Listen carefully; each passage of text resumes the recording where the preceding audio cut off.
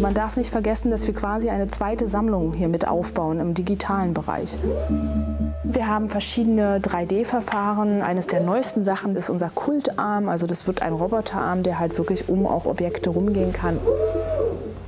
Das ist die neueste Technik. Wir kommen da deutlich voran, die Sammlung zu erschließen. Hast du dich schon mal gefragt, woher wir kommen und wohin das Leben sich entwickelt? Das Museum für Naturkunde Berlin hat die Antworten. Wir erfinden uns neu und gehen mit dir in die Zukunft.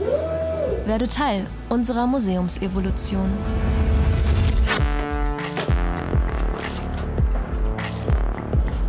Okay, jetzt runter. So. Ja, ein großer Moment. Der Roboterarm bewegt sich. Wir haben hier eine Mittelformatkamera, die die einzelnen Scans aufnimmt. Das ist praktisch High-End, also sehr hochwertig.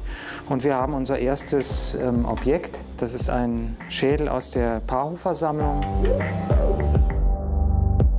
Das ist eine große Herausforderung für uns, durch diese unterschiedlichen Objekte ganz unterschiedliche Technologien zum Einsatz zu bringen, um diese Objekte digital zu reproduzieren. Zunächst mal wird ein grober Scan gemacht und anhand dieses groben Scans wird über Software analysiert, wo die schwierigen Stellen sind. Und das sind in dem Fall zum Beispiel die Nasenöffnung oder die Augenöffnung. Dann wird im nächsten Schritt ein feinerer Scan gemacht mit der Konzentration auf diese Stellen. Das Ganze ist Fotogrammetrie. So for this particular object, it will capture probably around 400 images.